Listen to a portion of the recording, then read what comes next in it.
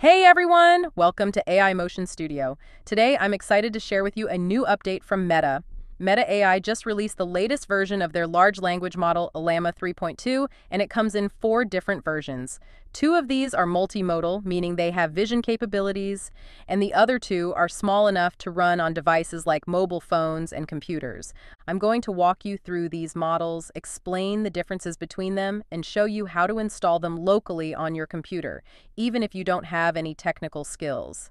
I've broken it down into a simple five-step process. Then, I'll show you some practical use cases using prompts with Llama 3.2 right on your machine.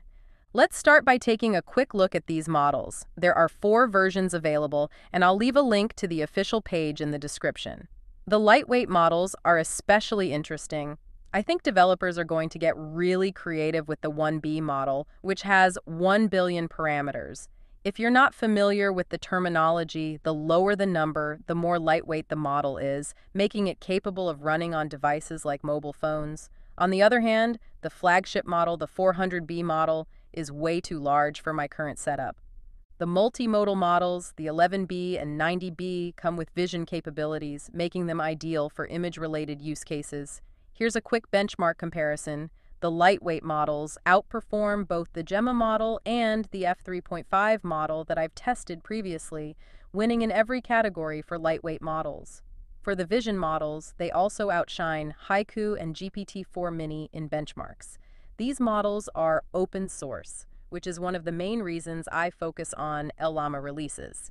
They're private, secure, and you can run them on your own device. Now, let me show you how to install this on your computer step by step. If you don't want to install it locally, you can also use groq.com, one of Meta's partners. Llama 3.2's 90B, 11B, 1B, and 3B models are available there, and you can test your prompts right on their site for free. For those who want to install it locally, here's the five-step process. First, you'll need to download the Ollama app, and I'll leave all the necessary links in the description. It's available for Mac, Linux, and Windows. Windows 10 or later.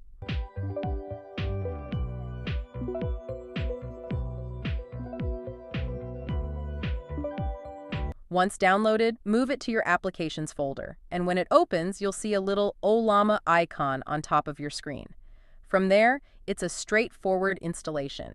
In step two, you'll open the terminal and paste the command provided by Ollama to install Llama 3.1 first. This will get you started, and in step three, I'll show you how to install Llama 3.2 using the terminal again.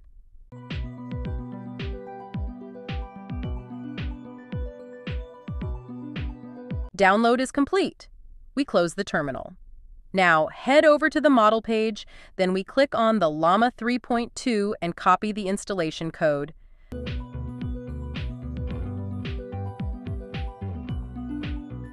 Then open a new terminal, paste the code, and press Enter to install the new Llama 3.2. We wait for the installation to complete and then close the terminal. Step 4 involves installing Docker on your computer which you don't need to interact with directly. It just needs to be running in the background.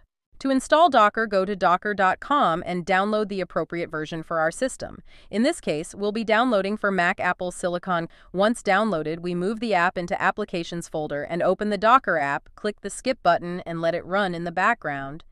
Finally, step 5 is where you set up the chat interface using OpenWebUI which gives you a more user-friendly way to interact with Llama instead of using the terminal. We go to the Open Web UI page and copy the code for chat interface. We scroll down to where it says installation with default configuration, and we copy the first line of command. Then open a new terminal, paste the code, and press enter to install the new Open Web UI interface. Once installation is complete, we close the terminal and go back to Docker where we will see a link automatically appeared, which will take up to the Web UI for Llama. Now we click on the link, which would open the Web UI interface for the first time. We will have to register an account. Just create an account by clicking the Sign Up button, enter your name, email address, and a password, and create account. Once everything's set up, you'll be able to select from any of the models you've installed, like the 3B or 1B versions. You can then start chatting with the model, running prompts, and testing its capabilities right on your own machine without even needing an internet connection. The response time of the 3B model is pretty good, but that will depend on your computer's GPU. If you have a less powerful setup, you can always use the 1B model, which should run fine on most machines. If you're not installing it locally, you can still use groq.com to test out the bigger models like the 11B and 90B, which are great for more complex tasks. I'll be showing you how those models handle creative writing, marketing, and even simple coding tasks in the future videos. For now, I'll start by running a quick test on the 3.2B model. Let's try write a 500-word YouTube video description for the title, How to Install Llama 3.2.